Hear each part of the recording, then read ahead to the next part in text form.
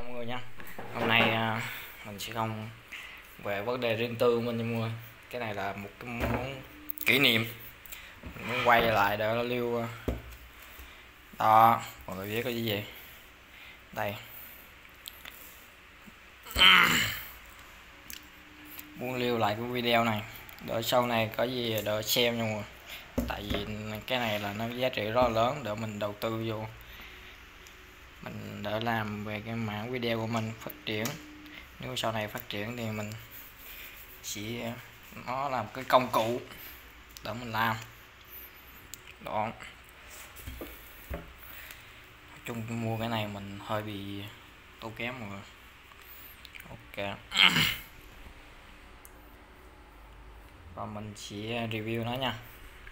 review và mở đập hộp